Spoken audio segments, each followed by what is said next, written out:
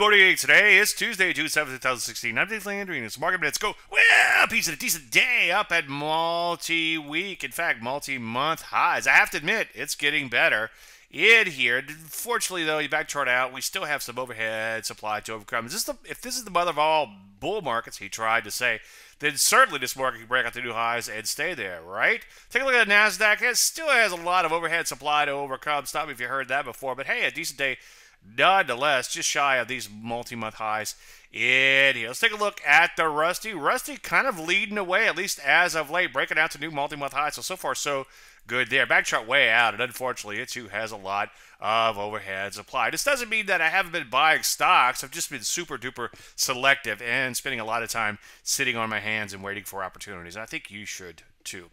Any questions? As usual, Dave at DaveLandry.com. I'm Dave Landry, and you heard of Mark a Market Minute.